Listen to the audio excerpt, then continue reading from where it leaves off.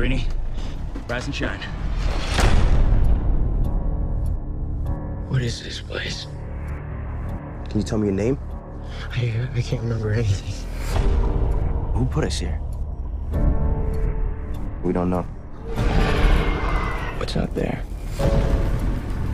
The maze. Every morning when those doors open, the runners look for a way out. And no one has ever survived a night in the maze. What happens to them? We don't belong here. I think it's time we find out what we're really up against. Everything started changing the moment you showed up. It's a girl. Thomas, Why are we different? what if we were sent here for a reason? You're not like the others. You're curious.